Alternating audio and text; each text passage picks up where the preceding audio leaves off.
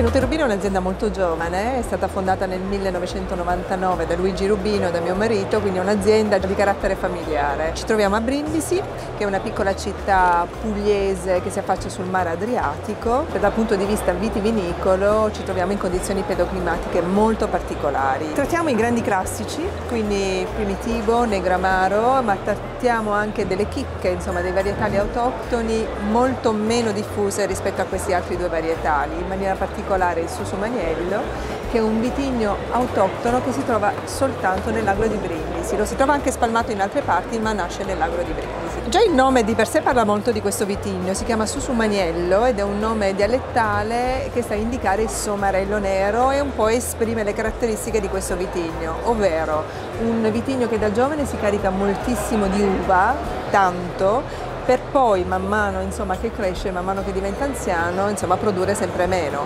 Motivo per cui questo vitigno nel passato andava abbandonato, o meglio lo, lo si utilizzava da giovane per poi lasciarlo insomma, in pianta man mano che invecchiava.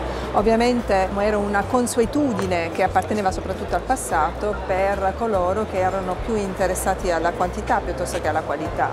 Esattamente il contrario per i giovani produttori moderni dove, che sono molto più incentrati ovviamente sulla qualità qualità, quindi un vitigno che produce meno è sicuramente un vitigno da tenere nel proprio patrimonio. Sta andando molto bene non solo per l'azienda ma direi in generale per la Puglia, sappiamo che in questo momento la Puglia è, è sotto i riflettori anche da questo punto di vista, non solo turistico ma anche dal punto di vista enogastronomico, per cui c'è un'affluenza molto mirata, ecco, vengono perché vogliono venire a trovarci e questo ci fa piacere, è indice del cambiamento in corso.